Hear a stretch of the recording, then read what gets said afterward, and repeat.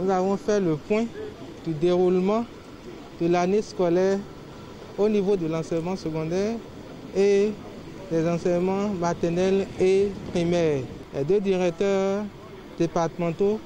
nous ont non seulement fait le point de la situation des enseignants au niveau des deux ordres d'enseignement,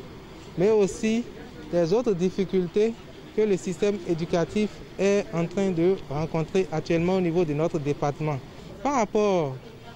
à l'insuffisance des enseignants, le problème se pose encore avec acuité dans certaines matières telles que les mathématiques, SPCT et le français. Le ministère de la fonction publique a organisé un test des aspirants et on espère dans les jours à venir que le problème sera relégué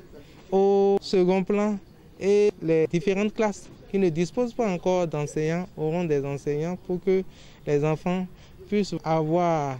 des personnes compétentes qui puissent les entretenir pour de bons résultats à la fin de l'année.